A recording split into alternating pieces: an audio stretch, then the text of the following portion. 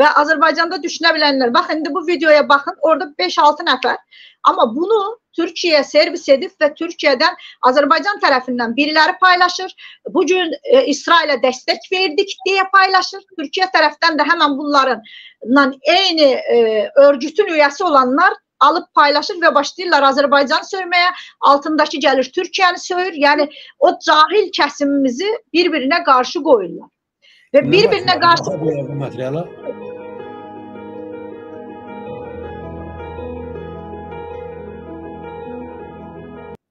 Burada musiqi var. Bizə problem yaratmazlar bu musiqi ilə. Qurban bəy, musiqini kəsə bilirsiniz, kəsin, çünki sonra problem yaranmasın. Hə, onda elə sadəcə kadrlara baxın dostlar. İnsan uğurluğundan söhbət gedir. Sərgiləyiblər nə qədər uğurlamış insanların şəkillərini qoyublar ora. Bu tədbir harda keçirir? Şərh verin, tamaşaçı bilsin.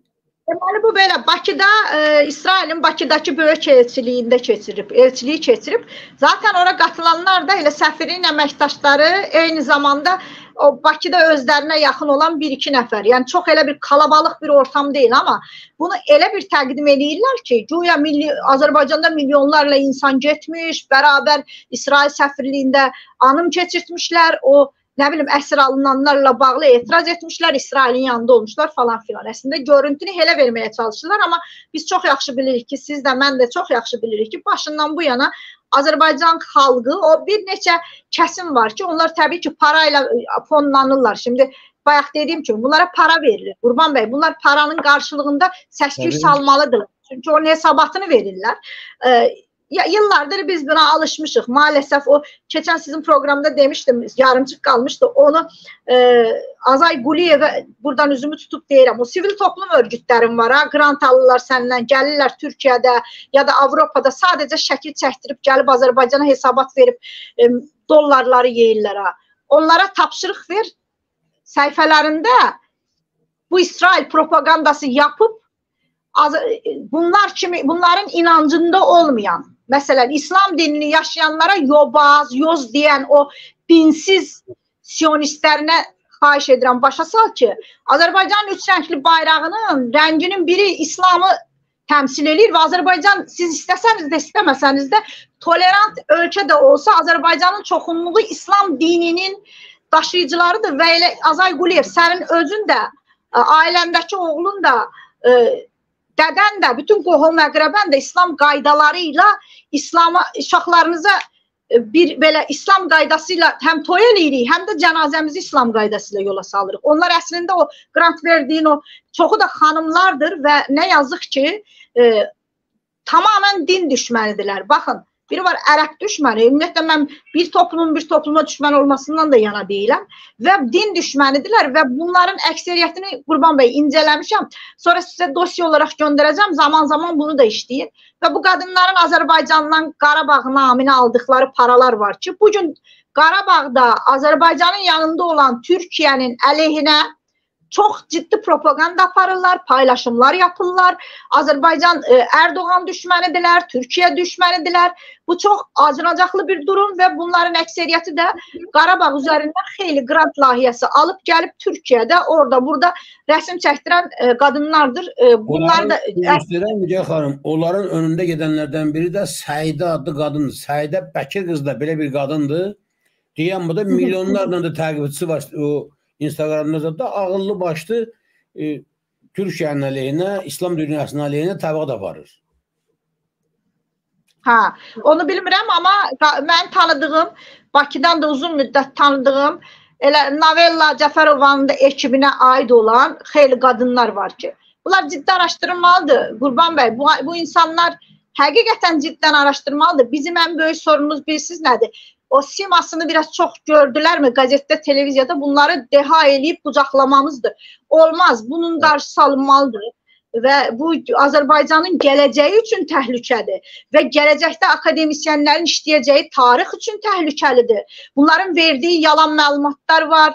Bir sürü hamısı da birdən-birə qəhrəmandır, hamısı da polkovnikdir, generaldır. Mən bizim Azərbaycanda qadınların nə zaman polkovnik, general olduqlarını, nə bilim, e, qadın batalyon, ümumiyyətlə mən Azərbaycanda qadın batalyonu olduğunu olduğunu bilmirəm, düşünmürəm. Belə bir batalyon olmayıb. Ay sağ ol, siz indi o zaman olmuşsunuz. Gəlib Türkiyədə özlərinə albay deyənlər, nə bilim, e, şey, batalyon komandiri deyənlər var. Qurban bəy, bu çox təhlükəli tendensiyadır. Xanım, xanım var, deyir, xanım nə Xərəlova. O vaxtı bunları başçılarda belənçi özləri Yox, yox, bu xanım deyil. Qurban bəy, bunlar e, mən sizə dosyanı atacağam. Mənə də buradan e, Qazilər Birliyindən ya da başqa-başqa bölgələrdən verdilər. Səhifələrini atdılar. Çünki xanım tanıyıram əksəriyyətini Bakıda. Yəni Türkiyəyə gələn kimi, sınırı keçən kimi hamısının rütbəsi qalxır. Bakıya dönən kimi e, şey, ev qadınıdırlar, yemək bişirməklə məşğuldur. Elə ki sınırı keçdilər, sanki Türkiyənin sınırından keçincə e, burada genel kurmay adama rütbə verir. Rütbələri qalxır. Hərəsi də bir hərbi forma geyinir, qapı-qapı gəzirlər. Çox təhlükəli bir şeydir. Və bu gün onların hamısı e, hamısının illərdir mən bunlara etiraz edirdim və bu gün onların hamısı uşaq öldürən və e, qətliam yapan e, insanlara şey yapırlar. Yəni dəstək olurlar. Bir də dəstək olmaq o yəni yaxşı eləyir deyirlər. Az öncə elə Mehriban xanımın o çıxışını İstəyirəm çox yaxşı yadıma bir şey saldınız. Elə özünüz bunu saldınız deyə sizə bir irad bildirəcəyəm. Bir Azərbaycan vətəndaşı olaraq. E, bilmirəm siz izləməmiş deyilsiniz. Bəzi adamlar gedir Türkiyədə böyük televiziyalara artıq son vaxtlar mən belə baxıram hətta A xəbərə, nə bilim, böyük kanallara çıxan adamlar var. Onlardan biri də e, bizdə Qapaz Əhməd kimi tanınan Əhməd Şahidov adı birisidir ki, işi gücü ancaq kanallarda e, bu Tərtər qatili Xanlar Vəliyevi reklamla məşğuldur. Eləcə də siz dediyimsən qadınlar gəlirlər orada özlərinin nə bilim hansı institut direktoru kimi təqdim edirlər, doktor kimi təqdim edirlər. Siz bir Azərbaycan vətəndaşı kimi nəyə görə dərhal yazıb sizi Şuşada tanıyırlar, Sevil Nuriyev orada da tanıyırlar.